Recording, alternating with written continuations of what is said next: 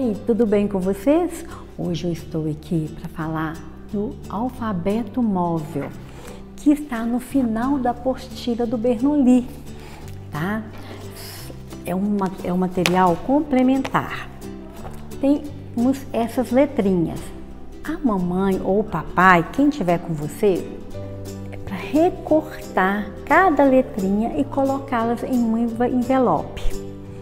E com essas letrinhas, formar palavras. Quando acabar de formar as palavras, guardar as letrinhas novamente no envelope. Por exemplo, eu coloco o nome Marisa. Aí vou procurar o N, vou colocar depois o A, o R e assim por diante. Tá ok? E podem fazer com seu nome, com o nome do papai, com o nome da mamãe, com o nome de algum coleguinha o que vocês quiserem, tá? Isso é para treinar. Eu quero ver você ó, brilhar. Até a próxima.